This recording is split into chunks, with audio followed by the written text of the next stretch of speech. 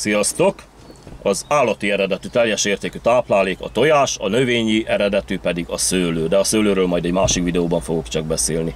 Most mit értünk az alatt, hogy a tojás teljes értékű táplálék? Azt, hogyha semmi más nem eszel, csak tojást, mindegy, hogy mennyi időn keresztül, semmiféle egészségkárosodást vagy nem kívánatos súlyvesztést nem fogsz elszenvedni. Nem kívánatos alatt azt értjük, hogy csak addig fogysz, amíg el nem éred a versenysúlyod. A versenysúly pedig egyénenként változó és semmi köze az orvosilag meghatározott beteges táblázathoz, azt úgy, ahogy van, el kell felejteni. Az én versenysúlyom konkrétan 100 kg, míg az orvosi táblázat szerint 75 kg kéne, hogy legyek. Én 75 kg. Esetleg hadifogolyként három hónap után. Na mindegy, szóval a versenysúlyról is van egy korábbi videóm, amit még néhány a témához kapcsolódó videómmal együtt belinkelek ide, ez alá a leírásba, főleg a koleszterin jótékony hatásairól, stb. Akit érdekel a téma és mélyebben el szeretne merülni benne, oda ajánlom megnézni azokat is. Most pedig akkor lássuk kifejezetten a rendszeres tojásfogyasztás előnyeit, mert hátrányai egyáltalán nincsenek. Tehát a tojás elsőrendű teljes értékű fehérje és zsír összetétele mellett bőséges forrása vitaminoknak és ásványanyagoknak, tökéletes táplálék. A nagy biológiai értékének köszönhetően tényleg elég csak egy minimális rostfogyasztással kiegészíteni, esetleg még C-vitaminnal, hogy éppenséggel ne ragadjon belénk reggelente, és hát reggelente ne kelljen szenvednünk tőle a klotyon, ne legyenek problémáink, hogy lazák maradjanak a beleink, ezért kell egy kis rost hozzá, és már igazából más nem is kéne enni, ha valaki bírná éppen gusztussal, de hát hosszú időn keresztül azért biztosan unalmassá válik csak tojást tenni, még akkor is, hogyha tudjuk, hogy milyen kis mennyiségben is már milyen szinten fedezi a számunkra, szervezetünk számára legfontosabb tápanyagokat, vitaminokat, ásványanyagokat, fehérjéket, zsírokat, koleszterin, stb. De egyébként az anyatáj utána a legjobb minőségű étel, ami létezik, és a, ami az anyatáj után még a legjobban működteti az emésztőrendszert és az anyagcserét, ráadásul könnyen fogyasztható mennyiségben, azaz már kis mennyiségben is. A fehérjéje magas biológiai értékkel rendelkezik, Egyébként meg akkor már gyorsan azt is elmondom, hát ha valakit érdekel, vagy nem tudná, hogy a, a fehérje, mint protein, a görög protosz szóból ered, jelentése első elem, mint alapvető építő elem, ami aminósavak összekapcsolódásából jön létre. Egy átlagos fehérje akár 300 aminósavból is állhat, és egy fehérjét akkor nevezünk magas biológiai értékűnek, ha az az emberi szervezet igényeinek megfelelő mértékben tartalmaz eszenciális aminosavakat.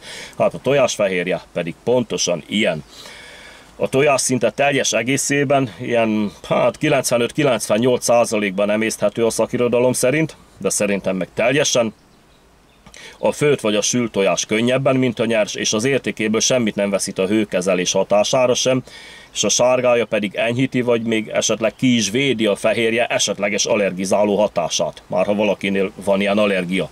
Továbbá a sárgája amellett, hogy kettő az egy arányban tartalmaz telítetlen és telített zsírokat, vagyis tökéletes összetételben egy valódi koleszterin bomba. És ez nagyon fontos, mert koleszterin nélkül egyszerűen nincs élet. Ha túl alacsony a koleszterin szinted, az az élettel összeegyeztethetetlen. Meghalsz, vége.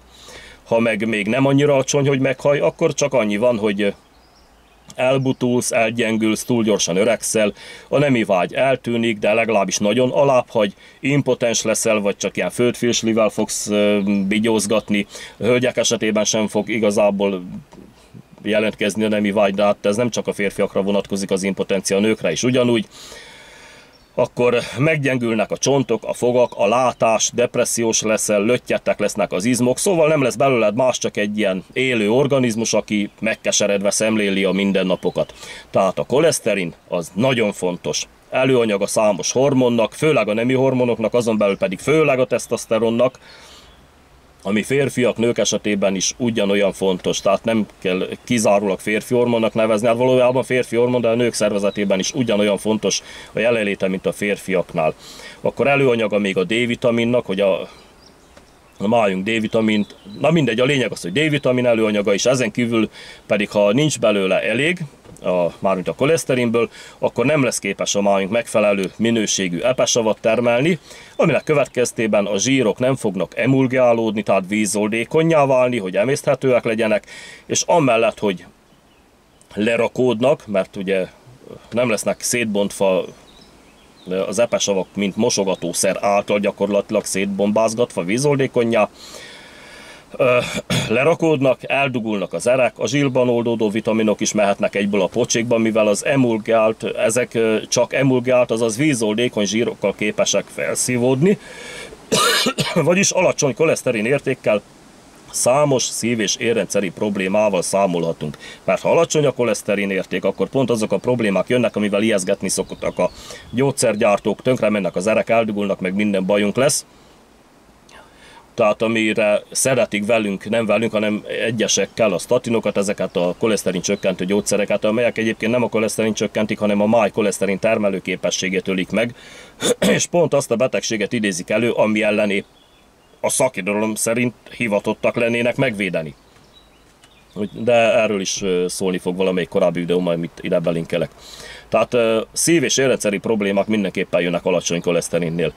Egyébként, ha májunk pedig valamilyen oknál fogva beadja a kulcsot, mert ugye azt termeli a koleszterin nagy részét, mondjuk alkohol vagy gyógyszerek miatt megadja magát, és nem képes megtermelni azt a minimum 3000 mg-os mennyiséget egy átlag súlyú emberhez koleszterinből, akkor, akkor be tudunk segíteni neki tojásevéssel. Tehát tojásonként ilyen 210-220 mg közötti koleszterin tartalom van, tehát, na, egy tojás kb. 210 mg koleszterin tartalmaz. Ez napi 14-15 tojást jelent. De ennyit azért fölösleges megenni, mert úgyis termel valamennyit a májunk, akármennyire is tönkre van már, ha valaki tönkre vágta a máját. Úgyhogy de gyönyörűen fedezhetjük a hiányzó mennyiséget. Tehát ez úgy működik, ha többet viszünk be kívülről tojással vagy bármivel, akkor kevesebbet fog termelni a májunk, ha kevesebbet viszünk be, akkor pedig többet fog termelni a májunk, már, már amennyiben egészséges, és meg tudja termelni a szükséges mennyiséget. Mert a koleszterin az olyan, hogy egyénenként változó, ugyanúgy, mint a testmagasság, vagy az új lenyomat, vagy a szemszín. Ezért hülyeség az, amikor uniformizálják a koleszterin szintet, nem szabad. Ugyanúgy, mint, a, mint ha azt mondanák, hogy 170 centi magas ember az egészséges, a többi az meg vagy betegesen magas, vagy alacsony. Hülyeség. A koleszterinnél is ugyanez van.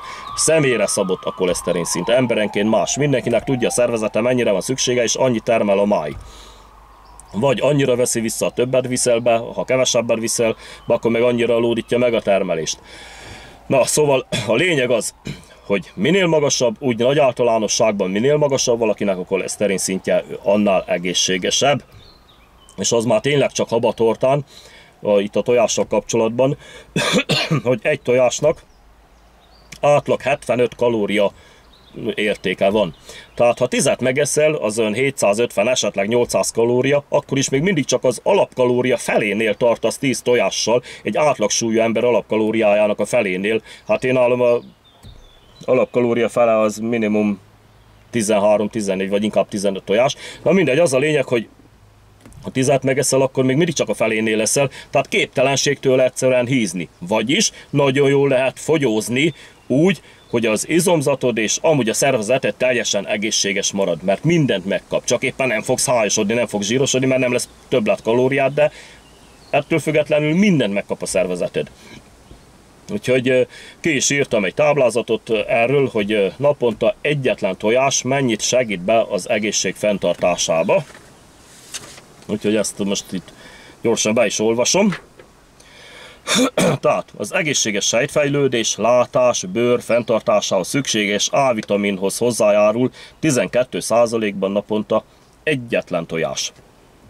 Erős csontok és fogakhoz 18%-ban D-vitaminnal, egészséges bőr és szemek érdekében szükséges B2 vitaminos 17%-ban, egészséges izmok és idegrendszerhez 6%-ban L-vitaminnal, szép bőr és hajhoz 20%-ban biotinnal, anyagcsere folyamatok és szellemi teljesítmény érdekében 17%-ban pantoténsavval, sájtosztódáshoz 12%-ban folsavval, idegek, izmok, agyműködés, memória állapotához 26%-ban kolinnal, mondom egyetlen tojás, épp csontok és fogak fenntartásához 15%-ban foszforral, a vér vastartalmához és az oxigén szállításhoz 7%-ban vassal, erős immunrendszerhez 7%-ban cinkkel, pajzsmirigy működéshez 19%-ban jóddal, akkor immunrendszer és pajzsmirigy működéséhez 10%-ban szelénnel, optimális anyagcsere funkciókhoz 15%-ban niacinnal.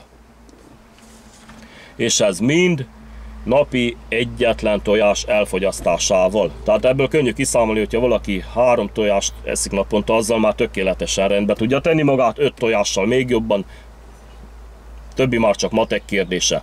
Úgyhogy szerintem ez a táblázat magáért beszél. Kutyáknál is egyébként meg lehet figyelni, hogyha valaki befogad mondjuk egy ilyen, vagy legalább néhány napra felkarol egy ilyen lesoványodott, rühás, kikopaszodott, fakószemű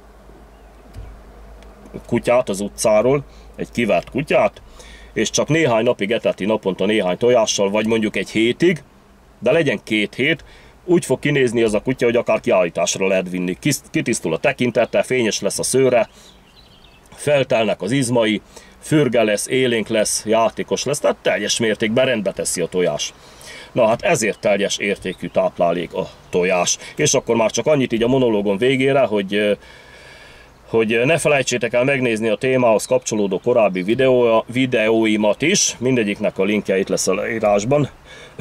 a koleszterinről meg, hát majd még keresgetek a csatornán, ami kapcsolatú ide, azokat mind be fogom linkelni, szerintem 5-6 videót biztos belinkelek ez alá.